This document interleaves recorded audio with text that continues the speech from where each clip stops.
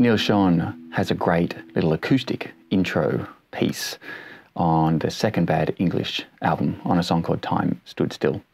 It's really nice. It's in standard tuning, key of B minor. Does sort of change key a little bit, and it's it's a great use of um, chord voicings and, and, and voice leadings, um, and it's a really really beautiful intro.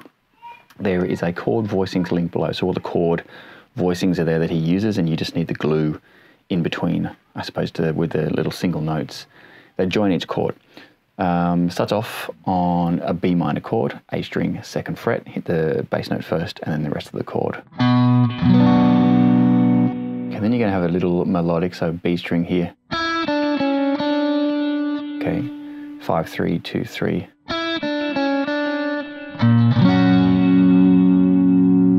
This one here, this voicing, if you don't know this voicing on guitar, it's a major triad in first inversion, really, really nice. It's an F sharp sitting on an A sharp. So what he's doing, he's going on a B minor and he's descending the bass line for the first few chords there. So.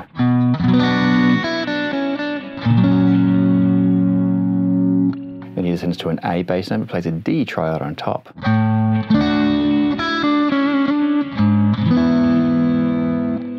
Okay, so A, uh, a D on A.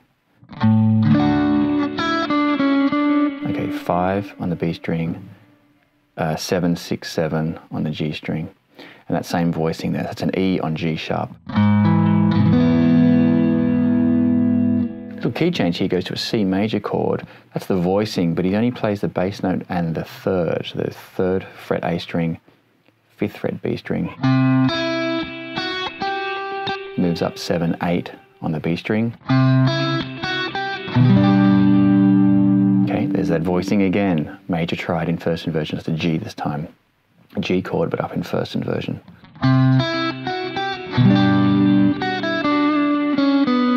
Okay, uh, nine, seven, five, seven, six, four. Okay, E on G sharp. F sharp. So I really want us to lead back to that F sharp. Let's do that first bit again.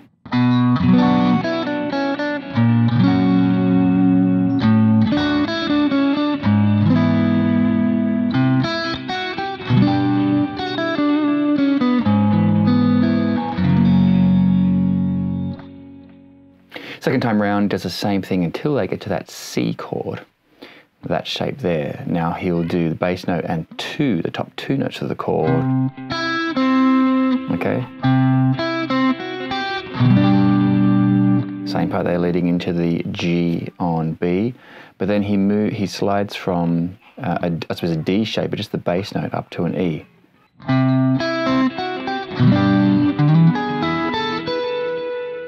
Okay.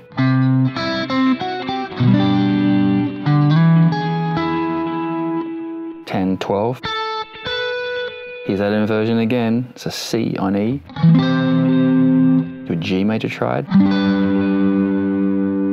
To a D add 9 on F sharp. Okay, that's a tricky one. That's 9, 12, 9, 10.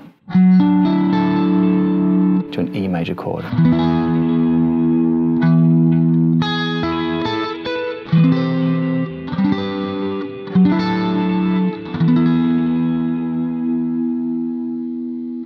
Beautiful sound, great chord inversions in there, great voice leading as well.